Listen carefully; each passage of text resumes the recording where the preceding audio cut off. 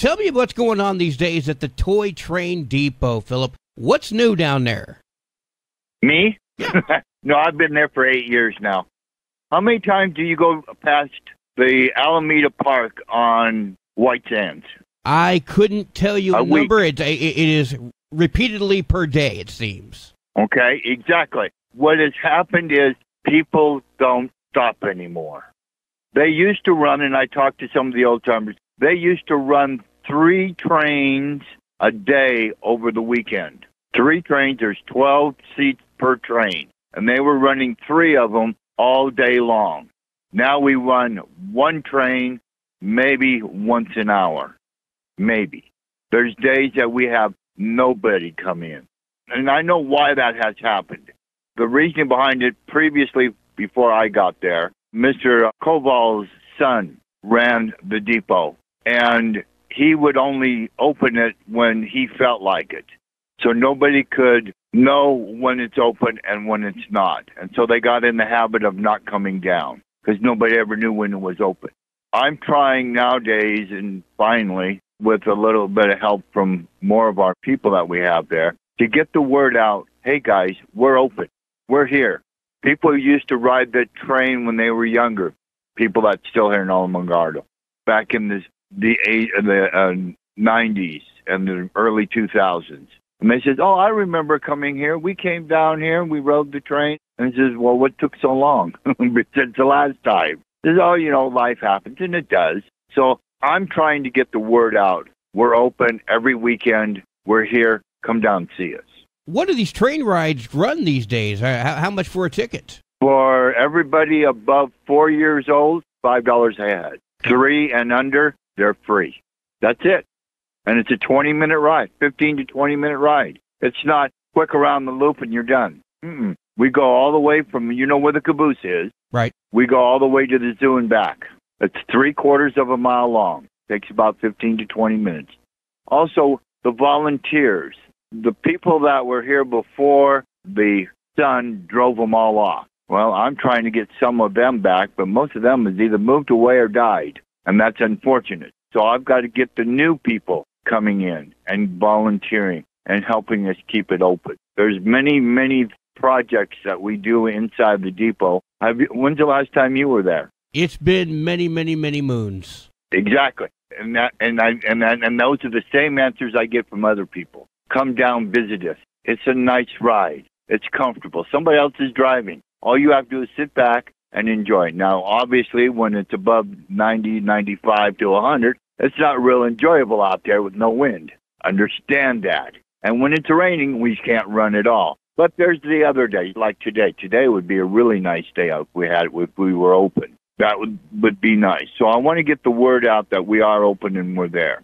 Two other things. One, I want to try to get volunteers in. Now, if I asked you to volunteer down there, you would probably say no because you you're going to use the terms or excuse, as you want to say, that you have nothing to know about trains. Am I correct? So why do I want to volunteer at the toy train depot? A- actually, I would uh, tell you no, simply because I am far too busy with this radio station. Otherwise, I would love to do it, as I have Right. operated a train once before in my youth.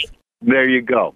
So what I do is against that quote excuse, but I also understand that the middle-aged people, I will say 30 to 50, they're involved in work. They don't have time to volunteer. But we, I can use, I can come up against. Well, what do you do on the weekends? That's the days we're open. And, I and I would tell you, I, I'm probably still working.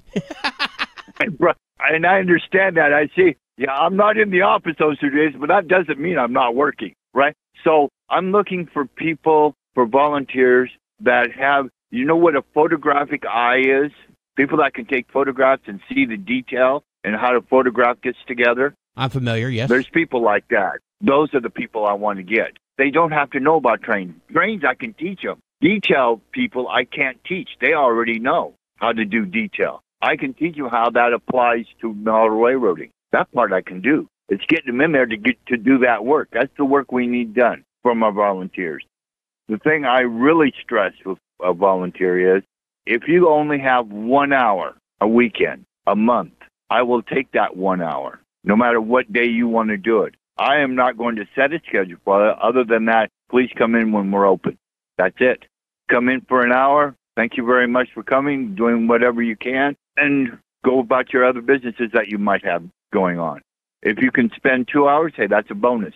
Three hours, four hours, whatever you want to do. And you have the freedom of doing what you like to do. I'm not going to force you to do something that you may marginally like to do. I want you to be happy there. It's the way I treat my volunteers. I'm sort of classified as a pseudo head of the volunteers. Well, makes sense to me. And Phillip, I'll tell you, operating any type of amusement yes. is just another extension of being in the entertainment business, which I've been doing Correct. for 30 something years, 35 years. So I understand the Exactly. idea of making people happy. And there is Yes. no feeling like it in the world. You uh, No. when when you get that smile at the end, the laugh, the thank you, you cannot put a price on that. So I encourage people that No. are interested. Phillip, if someone wants to find out how to become a train operator, how do they get a hold of you and what do they need to bring when they talk to you? Their brain. the number for the Toy Train Depot is 575 437 2855. Again, that's 575 437 2855. And they can ask for me. There's a couple other people that you could ask for, but they'll probably hand the phone to me, which which I don't mind. The third thing I'd like to cover then is that we are going to be at the Flickinger Center on the 17th of August. They're having a heritage celebration, and we will be there. They're going to have dancing, food trucks, and vendors. And we're going to be one of the vendors. All right, Phillip, before I let you go, is there anything else you want Yeah. to share? Come ride the train, please.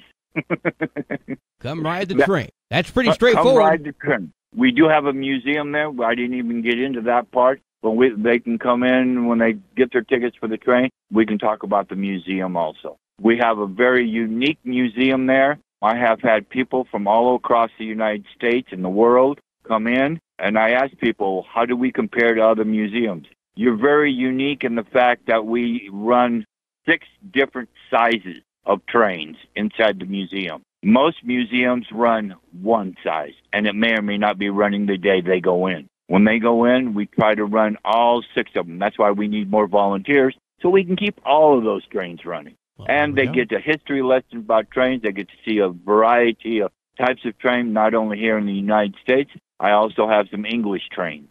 So we talk about all kinds of that. The tour takes roughly about 45 minutes to an hour, more if they keep asking questions, and we encourage that. And that is also $5 a head. Excuse me, we're running a special for a family. It's $10 for the whole family. So family of four, $10 for the museum.